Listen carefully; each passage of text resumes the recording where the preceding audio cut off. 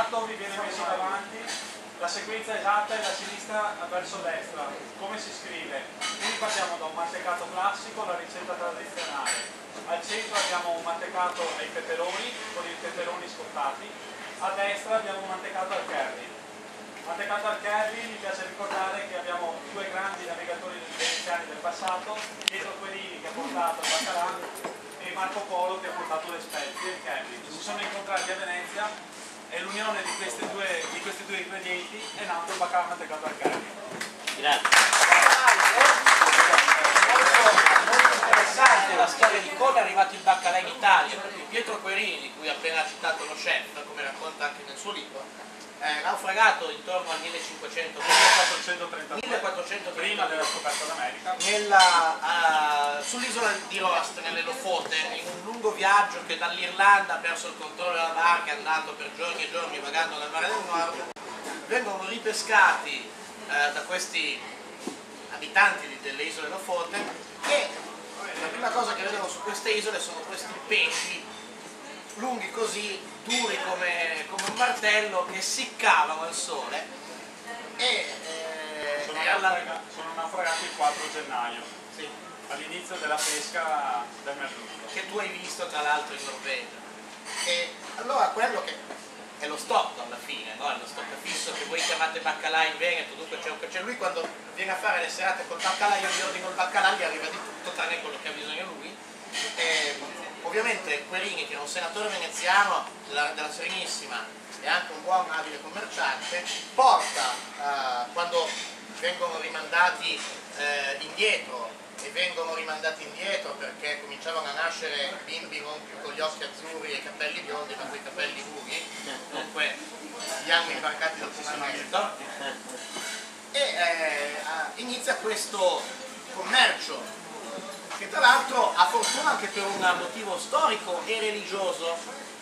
Siamo in un periodo in cui i giorni in cui si può mangiare e i giorni in cui invece è previsto digiuno astinenza si equivalgono. No, eh. wow. Allora cosa succede? Eh, in, soprattutto in tutto il nord Italia è un successo straordinario, il baccalà non solo perché ci sono anche ricette e tradizioni anche nel Ciletto con ricette di baccalà. Eh, il, il, Concilio di Trento eh, conferma il baccalà come uno dei piatti che è possibile consumare nei giorni di astinenza di giugno e da qui nasce la tradizione, la fortuna del baccalà in Italia, dove, in un mare dove non si pesca il baccalà ovviamente, un, un pesce che deve farsi un lungo viaggio per venire fino a qua.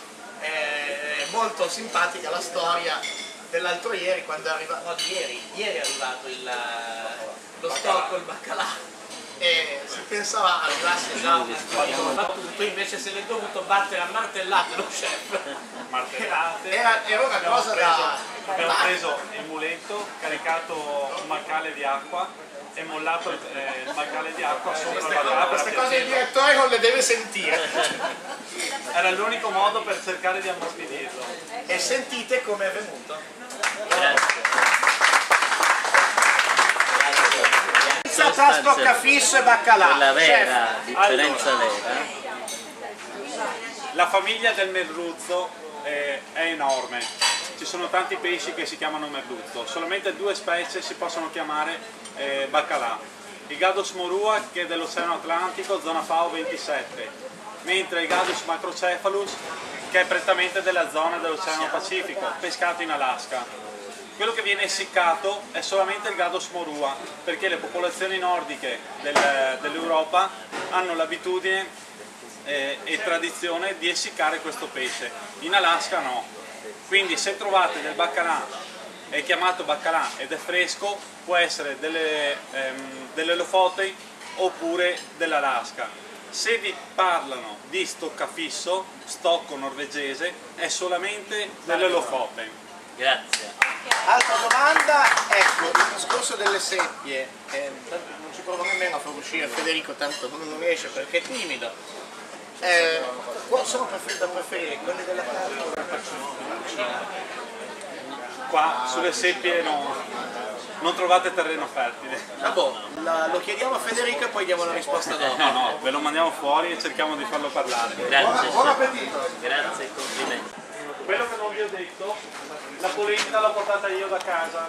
Ne valsa la La pena polenta caricare, eh? È una polenta bianco perla, una qualità, una qualità rara sostenuta da Slow Food e da alcuni produttori pazzi che sono disposti a, a mettere a disposizione il proprio campo per fare questa produzione. Ha una pannocchia molto piccola, una bassa resa, però il gusto è eccezionale.